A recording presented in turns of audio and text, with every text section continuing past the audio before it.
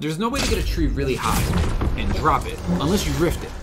So obviously it has to do a lot of damage. So I'm curious, number one, if you can rift a tree, which I feel like you should be able to because you can rift cars.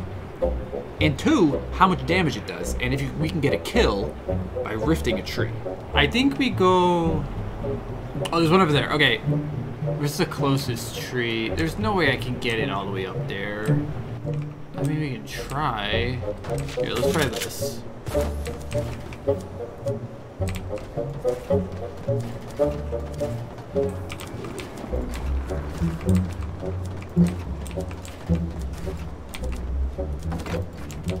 Okay. This is a lot of work just. Oh my god. So, we need to get it up there. First, we have to knock it down.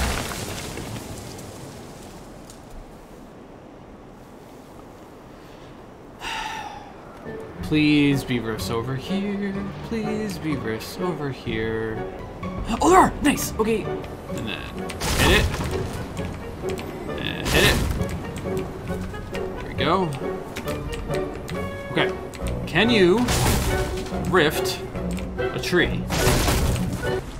You can't! Oh. I'm actually kind of surprised by that. I thought you'd be able to. Huh.